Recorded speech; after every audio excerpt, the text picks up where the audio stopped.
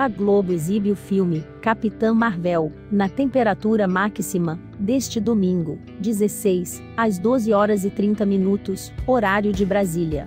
Em Capitã Marvel, Carol Danvers é uma ex-agente da Força Aérea Norte-Americana, que, sem se lembrar de sua vida na Terra, é recrutada pelos Grey para fazer parte de seu exército de elite.